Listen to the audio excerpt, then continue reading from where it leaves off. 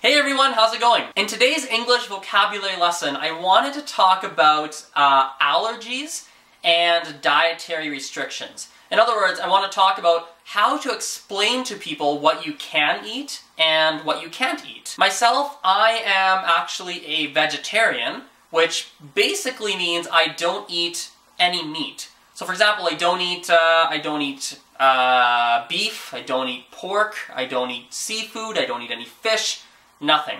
And so if I'm talking to someone, I have to, like, I need to be able to tell them, hey, here's what I can eat, here's what I can't eat, because if I don't, well, I'm going to end up with a big steak in front of me or something like that, and I don't want a steak, I can't eat it. Now, the simplest and easiest way to tell people what you can, what you cannot eat is basically to say, excuse me, I don't eat blank.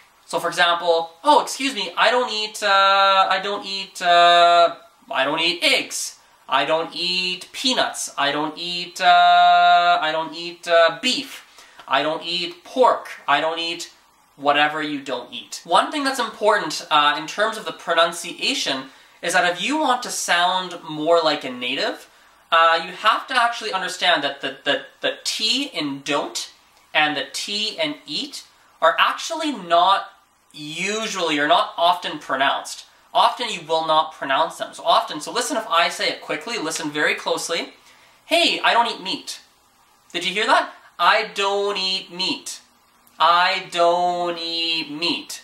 So it's almost like I don't, D-O-N, I don't eat meat. now, if I say it slowly, if I say I don't eat meat, it just sounds very strange. It's, it's, very, it's very strange. But when you're speaking quickly, if, if someone is a native speaker, you have to be aware of that, that they're not going to say those T's. It'll sound like, hey, I don't eat meat. Do you hear? I don't eat meat.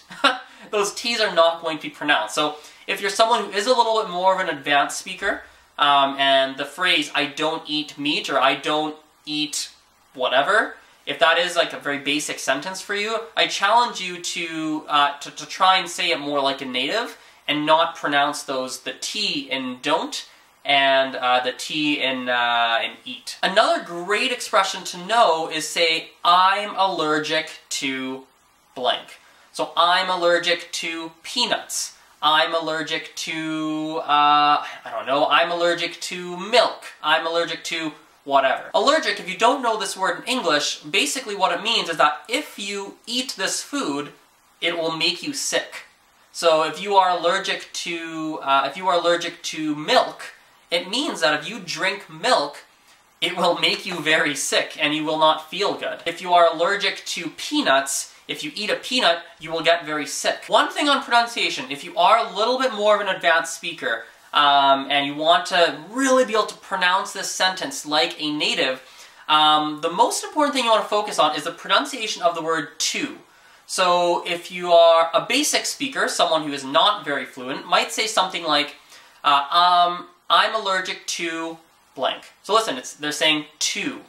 Now, native speakers will often say something more like a t. So listen to what I say, I want you to listen to the to. Uh, let me get in the right zone. Okay, got it. I'm allergic to meat. So notice that? Or I'm allergic to, I'm allergic to milk. I'm allergic to, to, I don't know. I'm allergic to peanuts. Do you hear that? I'm not saying to, I'm saying to. I'm allergic to whatever it is. So that's important. A lot of native speakers will speak like that, especially if they have um, especially if they have like an American accent or Canadian accent or something like that. So it's something really important to listen for, and if you are if you are learning English, and especially if you're a little bit more advanced and pronunciation is a little bit easy, easier for you, um, I recommend that you try and say more like, oh, I'm allergic to blank, instead of saying I'm allergic to whatever. I hope you found that useful. Please subscribe to my YouTube channel for more English lessons. Um, yeah, that's everything for today. I will see you later. Bye!